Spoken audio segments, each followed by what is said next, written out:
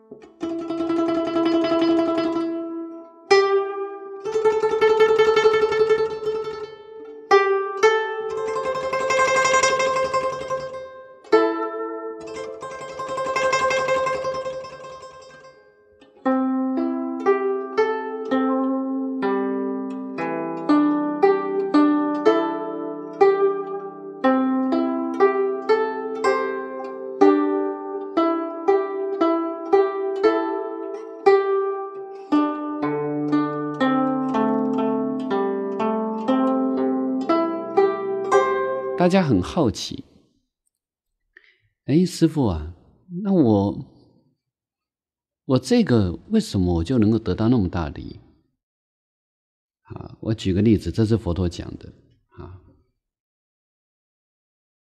有一天呢，有一个婆罗门在佛寺那个时候，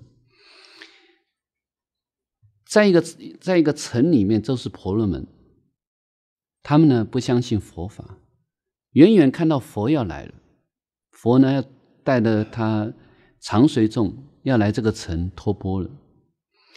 啊，这一群婆罗门呢，那个带头的那个那个婆罗门的的带头的，就跟大家讲：你们呢，啊，你们都不要去给这个佛供养，啊，他们都不相信佛法。所以呢，交代大家都不要供养他们，啊，那那个当然慢心是很重的，也不会想去请教佛，他认为他自己懂的就最多了。这时候佛呢，他明明知道，明明知道这里的人都不相信，可是依佛的这个智慧观察，这个城的得度因缘到了。那他还是无所畏心，还是走进这个城里面。结果走进这个城里面，当然很多人都避开他，就不去供养了。结果呢，走到路边碰到一位老妇人，老妇人的手上只有一个发臭的洗米水，洗米水，洗米的水已经发臭了。老夫人看到这个佛那么的庄严，这个走路的这个威仪这么样子的好，都升起很高的恭敬心。而城里面其他婆罗门也看到佛的威仪以及弟子们的威仪，都不禁的升起那种恭敬心。连那个带头的也看到佛也升起恭敬心了。那觉得说，哎，嗯，这个佛他已经开始有点后悔他讲的话了。那等到他看到这个这个佛呢，跟老妇人跟他托钵，要托他手上那个发臭的洗米水，那这个老妇人就很不好意思，就说：“哎，我这个已经臭了，我不要不要供养。”好，这个供养你很不好意思。好，那我虽然有有很大的心哈，可。是这是臭的洗米水。那因为佛知道，他们之前就有约定，啊，都不要供养佛那些吃的东西。但是发臭的应该是没有关系了，好，那就跟老妇人要这个发臭的洗米水。啊，这个老妇人哈，一听到佛这样子，他愿意接受他这一这一这个东西，他心里就起了很大的欢喜跟恭敬，以及很深的愧疚，就这样把洗米水供出来。好，那么佛呢，就当场为他受记。说你未来生中多久多久以后，人天富贵，好不断，最后从天上下生，正毗支佛果位。这时候，这个带头的婆罗门在旁边一听，马上就跟佛讲：“佛你大妄语，佛你妄语。”那这个佛呢，就就跟那个婆罗门呐。就说：“你曾经看过这个像会有讲妄语的吗？”这时候佛呢，就从他嘴里哈那个舌头啊，吐出这个舌头盖到头顶。佛的舌头是广长舌嘛，他的不用神通的状况下，他的舌自然的状况之下是可以盖到头上的，啊，盖到这个顶。这个婆罗门一看到佛佛的舌相，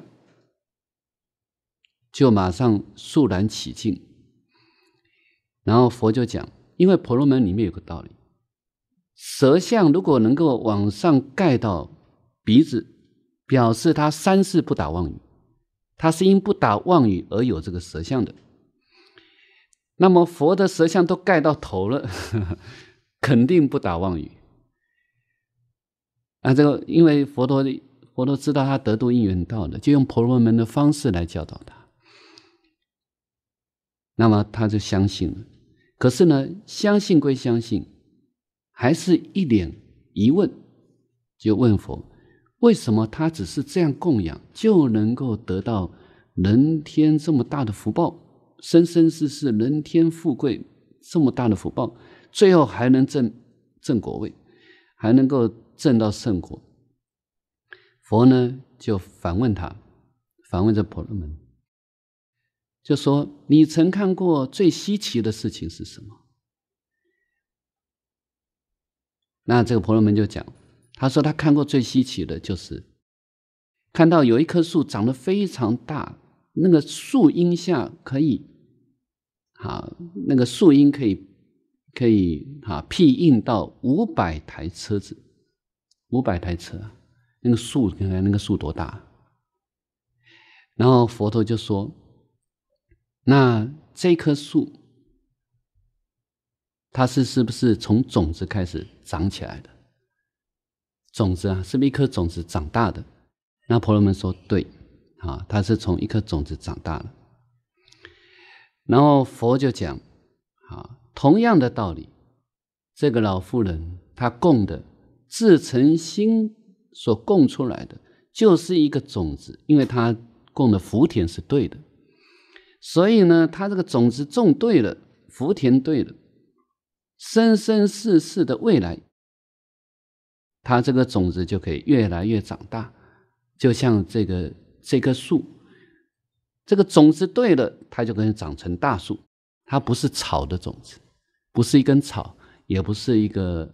啊，小树的种子，它是一棵大树的种子，它未来就可以长成一个大树。所以，我们种的因对了，未来的果就会很茂盛。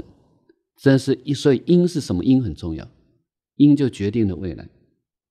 佛陀跟他讨论到这个，这个婆罗门呢，就啊，完全的信受奉行，然后整个城呢，啊，都归依。这个佛陀了。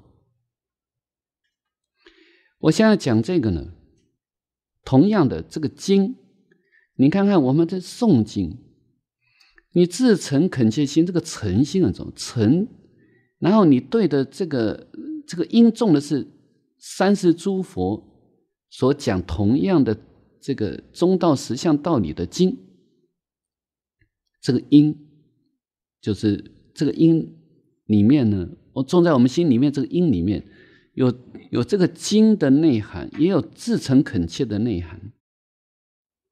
那么未来的果报就像这棵大树一样，就像这个大树一样，所以这是非常重要的事情。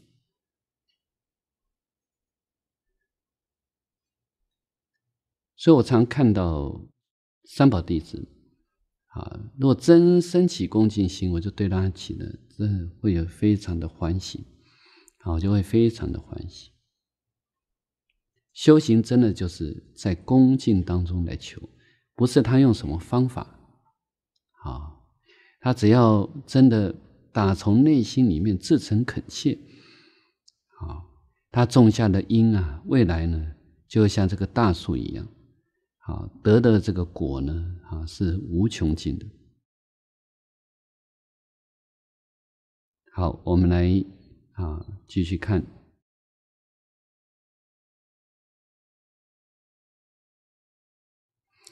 好，我们翻到一百五十五页，好，翻过来，翻到一百五十五页，啊的中间，看经论几个典章，不可急躁，须多看。啊，像印光大师来讲到怎么看经，哈，这是要研究的，好，就我们研究经论以及各个。各个章节，我们都不要急，要反复看，多看。急躁不能宁静，必然得其旨趣。如果以急躁之心随意看看，那心里面呢，啊，这个没有办法静下来，那这样子得不到经的内涵。后生稍聪明，得一部经书。废寝忘餐的看，一遍看过，第二遍便无性看，即看易落丧气失魂之相。此种人均无成就，当立戒之。这里呢提到，如果我们太急躁，这个后生啊，就是我们现在后晚辈了，后生晚辈，现在很年轻人看。只要稍微比较聪明，那么有一部经啊，哦，就赶快很快的就看过去了，废寝忘食，很快的看过去。那可是看过一遍之后，第二遍呢，他会再想再看吗？他那个就没有办法那么大的兴趣，觉得看过就很好了。意思是他懂了，懂了呢，就没有再继续看了。好，那这样呢，就均无成就。印光大师举了两个例子，第一个是苏东坡，啊，苏东坡云：“旧书不厌百回读，熟读生思子自知。”啊，就苏东坡他也讲讲到，苏东坡他为什么今生在文学上那么大的成就？因为呢，他每次看书呢是来回看的，啊，看过的书不厌百回读。你读过的旧书，我们不要去厌弃。你来回看一百遍都没关系。熟读生思子之知，熟读之后，慢慢的我们就开智慧，就可以知道他在讲什么了。第二个例子讲孔子，孔子乃生之之圣，读易上至韦编三绝。以孔子之资格，当过目成诵，何必又要看文而读？就是说，孔子再来了，他生来就有那种大的智慧。读《易经》，读《易》呀，《易经》，读《易经》呢，上至尾编三绝。什么叫尾编三绝呢？就是以前的那个、那个、那个《易经》哈。以前是用竹简编起来的，竹简跟竹简之间是用那个线哈去给它穿起来的，那叫编呐，尾编呐啊。那么他反复看了，他那个那个穿的线以前有的是用牛绳、牛皮做牛的那个那个皮呀，好穿起来那个绳，那个绳是很坚固的。他反复看来看去，看来看去，读易经啊，那个绳那么坚固的绳子断三遍，三绝断三遍。你看他看到怎么透啊？不是百遍而已哦。这个苏东坡说：“旧书不厌百回读。”如果按照这个尾边三绝的感觉来看哈，他不知道看多少遍了，绝对超过百遍。反复的看，反复的看。你看，以孔子他那么这个先天就有这个大智慧、圣人之智慧，以孔子这样的资格，你过目就。可以称得上过目不忘的啊的智慧，那为什么还要再看来看去呢？所以故知底下故知看文有大好处，反复看有大好处的。背诵多华口诵过，看文则一字一句细致旨趣。无人当取以为法，切不可显自己聪明，专上背诵也。这地方呢，讲的是研究哈，研究经典不是只做功课。我们一般功课是早晚功课，好，或是诵经等等的，这个呢是诵。这样讲的不是指诵，啊，这里呢是指的是研究看文，一字一句。慢慢去研究，知道它的旨趣，要反复看，反复研究的，好，不可以说啊，我显自己聪明，我会背了，会背了就好了，他呢就算了，啊，会背就好了。可是呢，要反复的一直看，那里面的智慧，经文这个书里面的智慧会越来越清楚。我们来看一百五十六页第二行。当孔子时，无子。凡书或书于木板，或书于竹简。易之六十四卦，乃伏羲所画。六十四卦开首之彖，啊，这练彖，特务暗团，团圆的团，哈，去声彖。六十四卦开首之彖，乃文王所作；每卦之六爻，乃周公所作。此外之上经彖传、象传，下经彖传、象传，并乾坤二卦之文言，及系辞上传。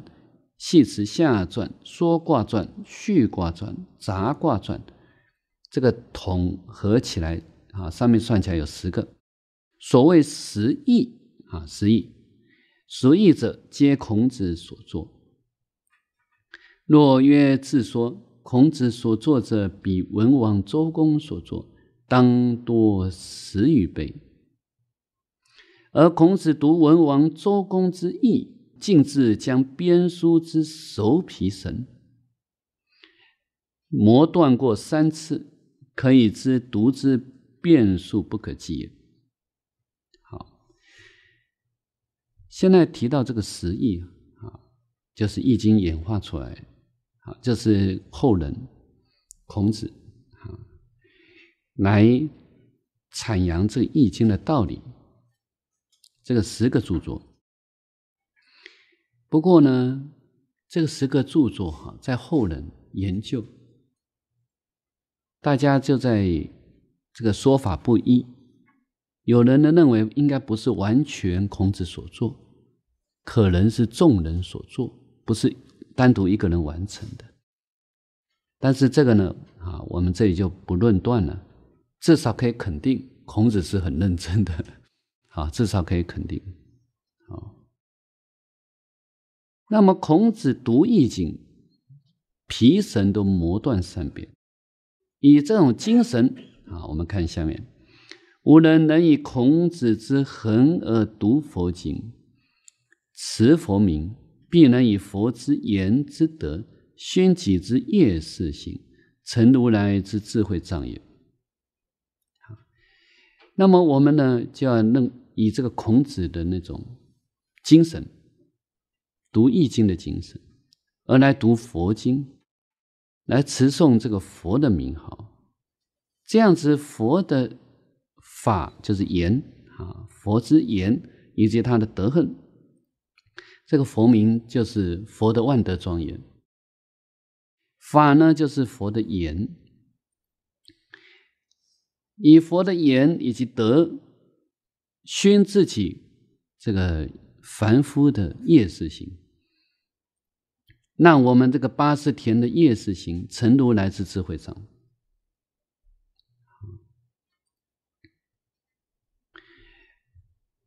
我们现在这个八十田中哈，一定要一直种清净的种子，这种子要种对，种好的，好种子要种殊胜的，好。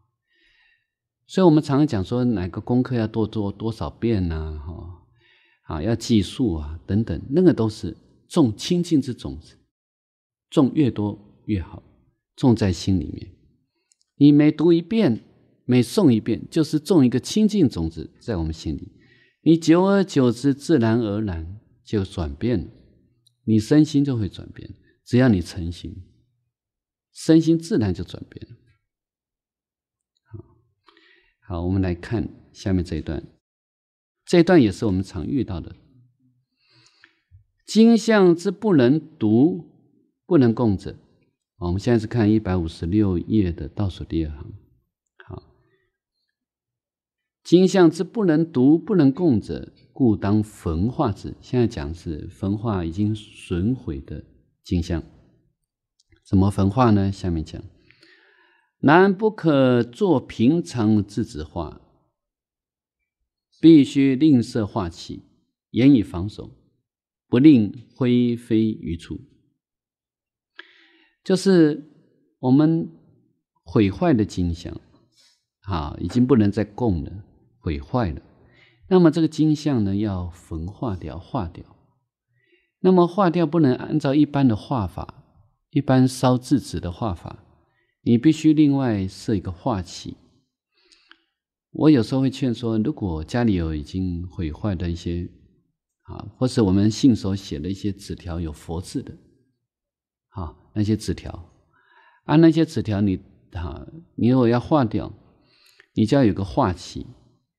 那我会劝说，就买那种外面那个金金炉啊，啊，啊，但是那金炉专门画损坏佛经用，不要不要跟啊，不要去画纸钱什么的混在一块，不要好。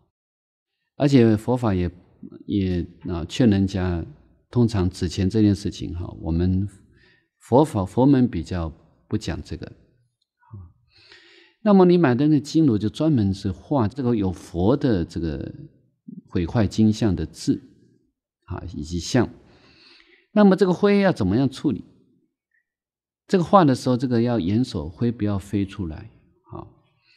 那么以其啊，下面以其灰取而装于极密纸之布袋中，又加以净沙或净石，譬入水则沉，不至漂于两岸。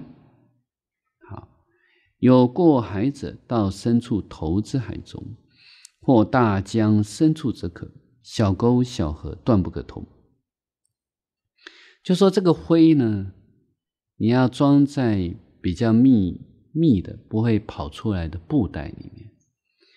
那么这个布袋呢，要加一点这个啊一些干净的沙或石头加进去。丢在啊这个海里面比较深的海，或是深的江，啊不要丢在小水沟跟小河里面，不要丢啊。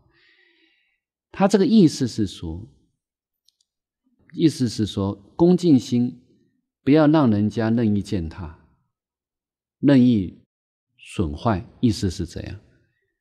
那么在近代。好，我们有时候还有另外一种处理。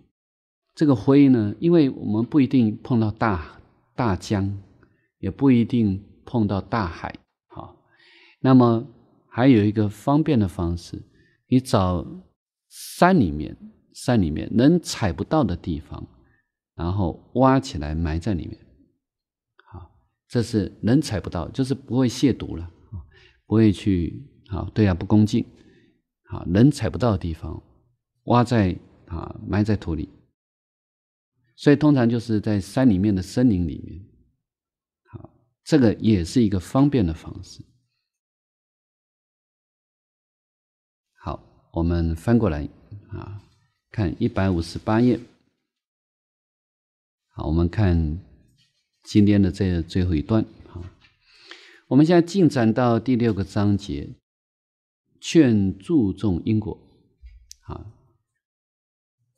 底下呢就是谈因果了。我们来看，因果者，圣人治天下，佛度众生之大权也。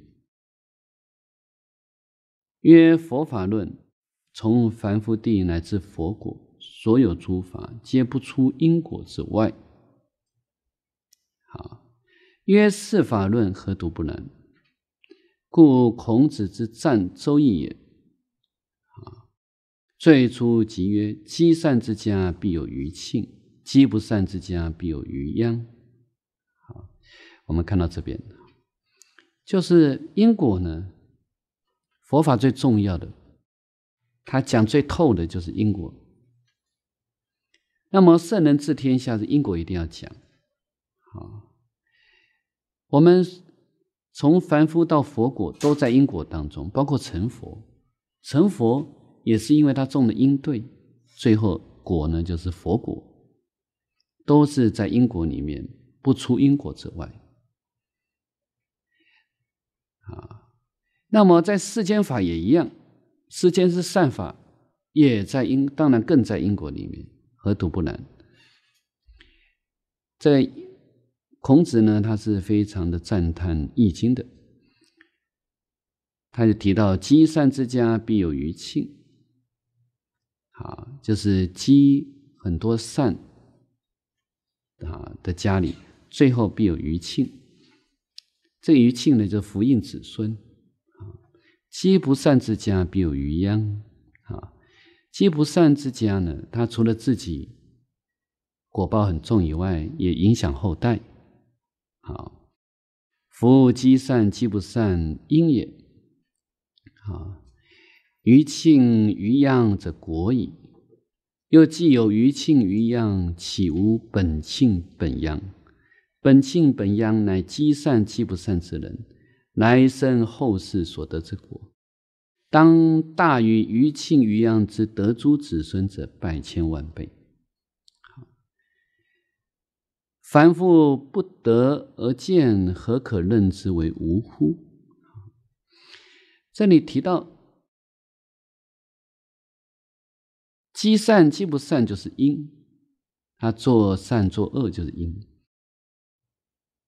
这个余庆余殃啊，就是他果了。那么本庆本阳，它本身做的这个善恶，那么。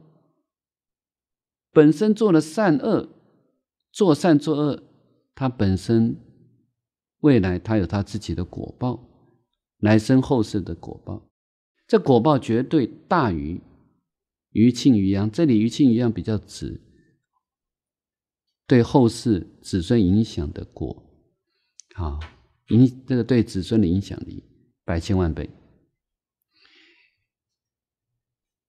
他自己本身。善有善果，恶有恶果，那个影响对自己是最强的。那么鱼的力量，鱼的善力量跟鱼的恶力量，对子孙的也会有啊剩余的力量影响到子孙。好，当然自己的善恶影响是最大的。那么这个因果我们现在看不到，因为未来的事嘛，看不到。可是不要说看不到，我们就认为它没有，那是有的。我们来看经云：“欲知前世因，今生受者是；欲知来世果，今生作者是。好，这是古德提到，知道要知道前世的因，今生我们受到受到怎么样的待遇，就知道那是过去生的因所造的，今生是果。所以这个一一瓢饮，一箪食，任何一滴水。都是前世因所来的，所以因为这样，所以我们更要积极的行善。所以预知来世果，今生做之事，那么未来会怎么样，就看我们现在怎么做了。啊，所以一个懂因果的人，应该是非常积极，而不是消极。所以你真的懂佛法的人哦，他会很积极做事情的，不会在那里消极，在那里一天过一天的，不是。他会非常积极的，好，因为什么因就是什么果。现在积极种善因，就会有未来的善果。我们看下面哈，倒数第二行，洪范乃大禹所著，箕子以成于武王者，幕后五福六吉之说，发明三世因果之意。极其确切。这里讲的是古代，好尧舜禹汤。洪范呢，它就是我们讲的洛书，洛书啊，洪范它是一本书，这个呢就是讲洛书，洛书的另外一个名称是洪范，它是大禹所著的。那么箕子呢，把它啊陈述给武王。让武王更了解、更知道这个《洪范》这个书啊，《洛书》这个书，大家呢可能很陌生。我稍微提一下里面的精神。里面提到什么呢？君主哈，就是君王啊，国王呢，他施政的态度，就是国王他本身呢的德行，怎么对待老百姓。会影响天气的变化，这是洛书里面写的，《洪范》里面写的。意思呢，就是人是怎么做，天呢就会怎么样的回应。天跟人呢是互相呼应的。你看，古代就有这个道理哦。啊，这个道理，这个就已经有因果的道理在了。这个机子是谁呢？就是那个那时候纣王啊。好，后来那个武王不是伐纣嘛？好，纣王最贤能的臣子大臣就是箕子。这箕子以前不是一个很有名故事，我以前讲过一次。有一次纣王呢，他在纣王呢，他有一呃有一个大臣送给他一双象牙做的筷子，象牙做的筷子。就这个箕子旁边看到纣王看那个筷子的眼神。因为那纣王看那筷子很喜欢，爱不释手，啊，看他非常喜欢那筷子的眼神，箕子呢，就因为他很忠心嘛，又非常贤人，就赶快跟纣王讲，请你把筷子丢掉，啊，然后那个这个这个纣王就觉得很好奇啊，为什么丢了这筷子？好，然后箕子就说。大王，如果你不丢掉这个筷子，哈，国家会灭亡。哦，这个这个纣王吓一跳，他说：“有那么严重吗？我只是喜欢这个筷子，人家送给我的。”啊，他说：“你会这个机子就讲，你会因为这个筷子而要有更好的碗，你会因为要有这个更好的碗，你要更好的桌子配。”因为要有这个好的桌子配，你要更好的房子配，所以东西都会越来越用越好，就奢侈下去，国这个国家呢就会就会灭亡的。那纣王那时候，纣王其实纣王在早期他还算不错。纣王啊，他在年轻的时候他不是很坏的人，他是后来娶错的太太，好，然后。自己又奢靡下去，才弄弄乱了他的这个国这个整个国家。这个机子就是那时候忠心耿耿又非常贤人。那因为他是大家公认的贤人之人，后来呢又遇到遇到很多的状况，姬子一直去啊劝诫纣王，纣王后来不听，一直都不听，后来把姬子关起来，把姬子关在大牢里面。后来武王伐纣之后，啊武王伐纣以后，这个。纣王就死啊，就死，然后就灭亡了哈。那武王一上一上任，最重要一件事情就是把姬子放了，马上大牢就打开，让姬子出来。啊，还有好几件事情啊，这个那时候天下就太平了。那么姬子呢，就把这个洪范的洛书啊，呈于武王。这是有这样一个典故，然后这里提到幕后五福六吉之说。什么叫五福六吉呢？我们现在不常谈到五福临门，那五福是哪五福呢？啊，大家记一下哈。我们讲的五福哈，就是寿长寿的寿，第二个富富贵的富啊，第三个康宁啊康宁。康宁呢，就是那个健康的康，心灵安宁的宁，就是一生当中哈，啊，能够健康又快乐，啊，那这个快乐是心安理得的快乐，不是那种游玩的快乐。第四个呢，是有好的德恨，啊，有好的德恨，那么心里又好德，啊，又好德。第五个呢，善终，往生的时候能善终，走的时候好走，这叫五福，好五福。那么六级是什么意思呢？五福是我们自己有这个德恨而感召来的这个福，六级是我们没有得天所降下来的祸祸祸害。那这六级是哪六级呢？六级是相对五福了。好，六级呢，第一个呢就是这个夭折。啊，我现在讲的是我们比较白话讲哈，古文是讲胸短折，你们就记夭折就可以了，是差不多的意思。好，第二个呢就是疾病，疾哈疾病。第三个呢是忧，就是一。一生当中忧那个忧郁症的忧啊，一生当中都处在不愉快啊。第四个呢，就贫贫穷贫。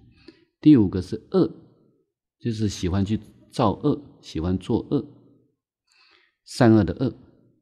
第六个弱，那个强弱的弱啊，就是身体很弱的弱，但这个弱不是身体的意思。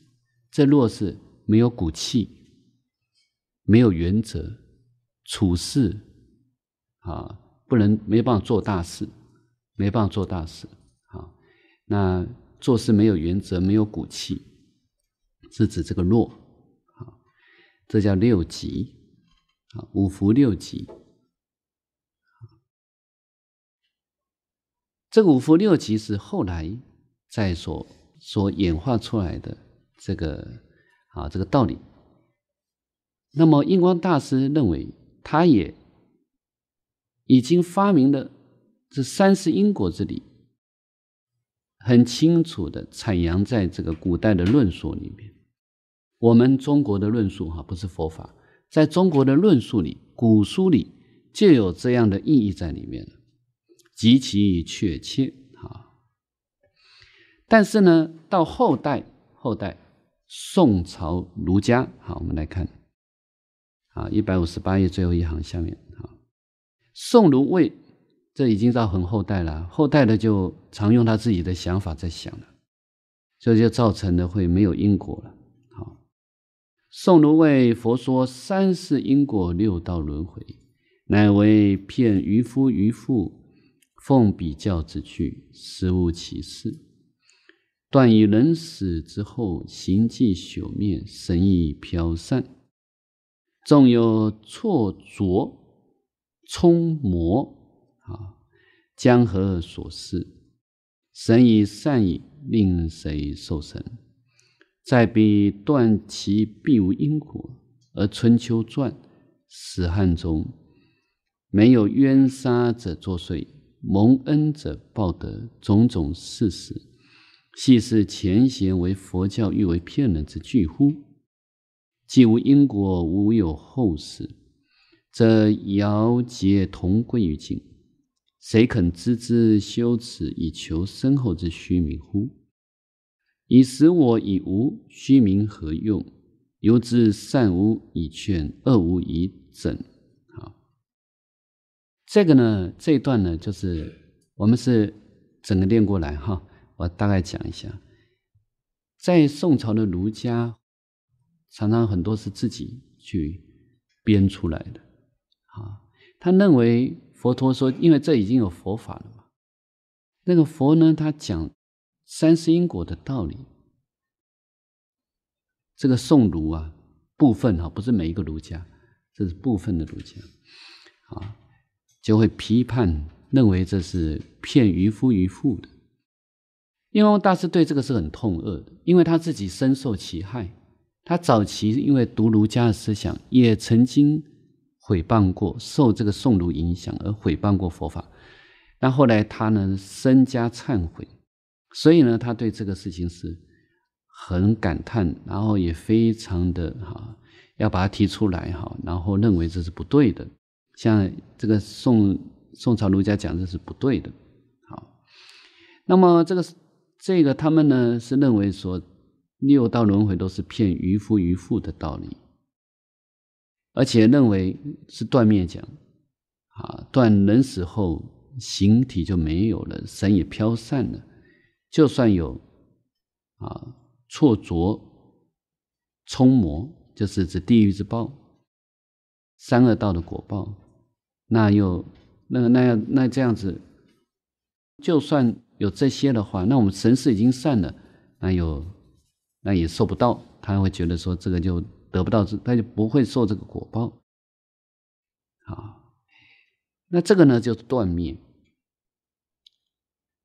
再比断其并无因果啊，因为他们认为是没因果的，所以呢，这个啊，他们认为春秋传史汉中有一些是冤杀在作祟，好冤杀有作祟很多一些古代的一些这个这个道理，然后蒙恩的还会冥冥当中还会报德